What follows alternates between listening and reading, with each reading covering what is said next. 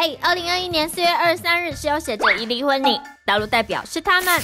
台湾方则是江宏杰，他跟小爱婚变风波吵得沸沸扬扬。二十三号传出小杰不想再忍了，已向高雄法院诉请离婚。我是来自日本的福原爱。再讲福原爱，二月底被日媒爆出与高帅男学弟不伦恋，没想到啊，小爱偷吃的学弟居然早已是人夫，陷入双重不伦。事发至今，爱将始终龟缩躲在日本，仅透过经纪公司发书面声明。我们知道的事情就好了。被戴绿帽的小杰真心换绝情。等不到妻子一句任何解释，换来只有离婚两字。这些日子，他依旧强打精神上工，还得父接母职带小孩。传出小杰因此数度泪崩。没有没有，他三月就会回来了。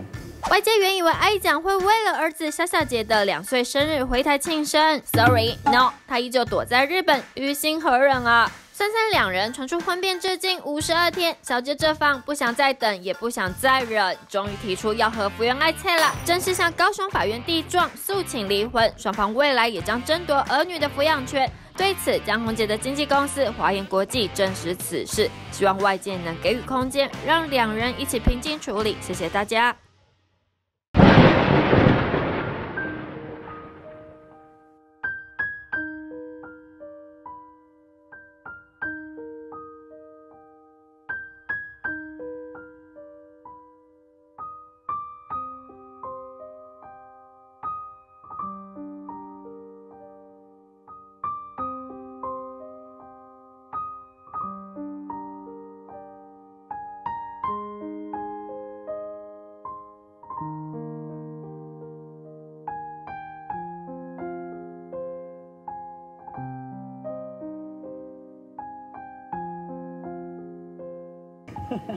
也没有很困扰啦，就是我们知道的事情就好啦，对啊，就不会去想太多，对啊。